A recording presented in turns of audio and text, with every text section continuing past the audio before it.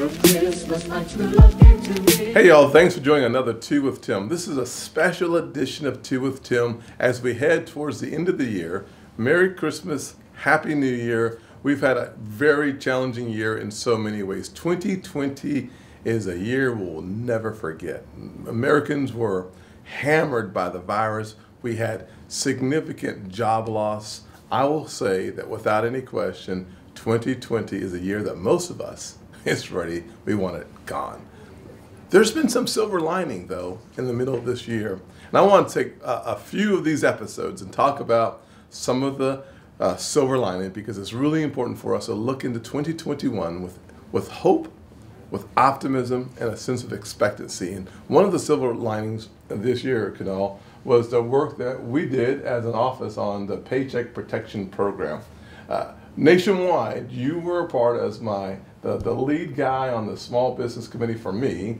Uh, you helped us develop and, and work through the Paycheck Protection Program, saving somewhere near 50 million jobs nationwide.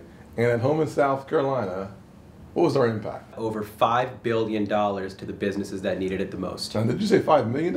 No, sir. I said 5 billion. The boy, B as in boy. Yes, sir. That's awesome. Now, you know, I was a small business owner, and I understand how hard it is sometimes to sign the front of the paycheck during good times. Signing the back of the paycheck is even harder for the employers and this uh, Paycheck Protection Program was not about the employers. It was really about saving the jobs of the employees. Do you know anyone that was a small business owner or who is a small business owner?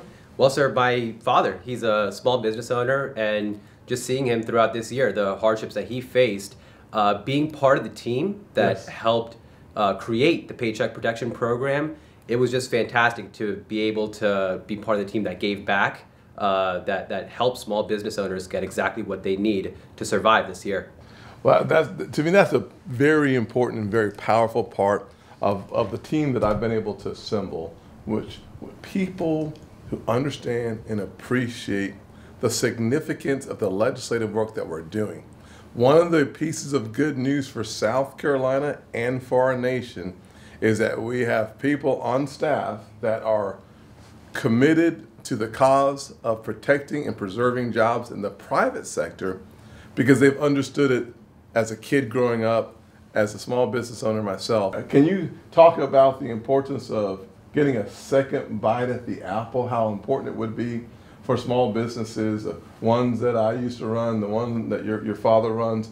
Isn't it really important that we keep working to make sure that we reauthorize the Paycheck Protection Program not just for small business owners, but for the employees of small businesses. Yes, sir. It's extremely important. We have to get this program funded again. And I think the good news here is that this is bipartisan. I think everyone understands that we need to get this program funded again so that employees can stay with the jobs that they have. Yeah, that's a really important part of the equation. As we head into Christmas season, as we go through the holiday season, one of the things I'm truly thankful for is having had an opportunity to design the Paycheck Protection Program with uh, experts on my staff, along with other experts on the Small Business Committee, who took the job of saving and preserving jobs seriously.